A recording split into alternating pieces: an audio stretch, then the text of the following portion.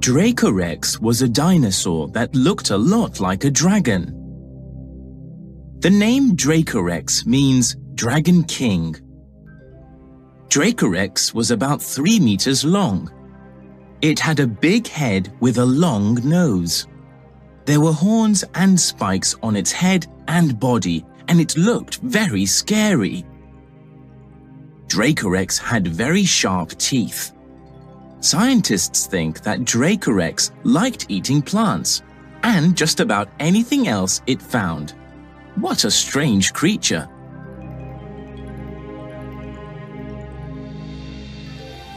Deinonychus wasn't a big dinosaur, but it was very fast and very scary.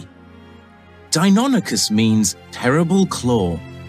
It had sharp claws and it liked fighting with other dinosaurs.